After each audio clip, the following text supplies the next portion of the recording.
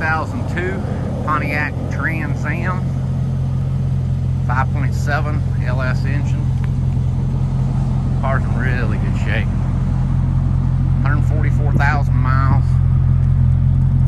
Magnaflow exhaust. No real damage on the exterior worth mentioning. Maybe a few little rock chips on the hood.